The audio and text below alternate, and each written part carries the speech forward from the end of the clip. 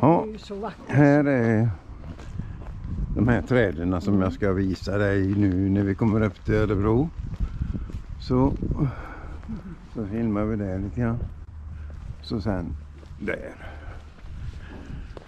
Och de är jättefina. Titta här va.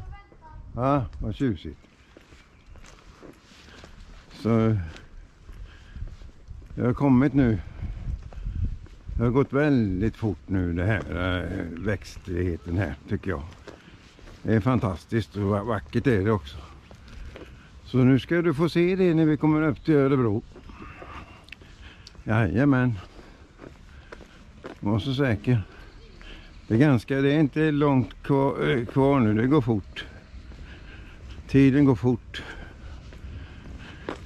Så här är Lillskogen som vi kallar det för. Så ser det ut där. Vi går rätt över här. Akta dig, det är blött där. Det är bättre att gå den här vägen då. Så ja.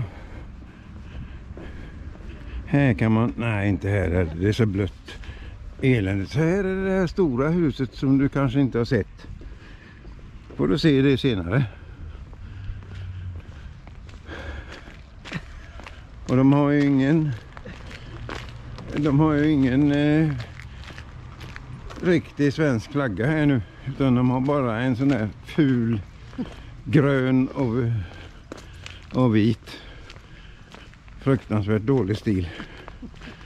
Jag tycker det är skandal att de inte har en riktig flagga. Då ska de inte ha någon flaggstång heller.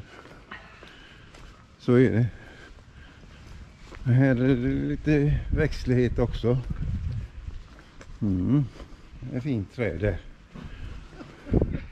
Och inne på gården där så. Okej. Ha det nu så bra. Kram och hej.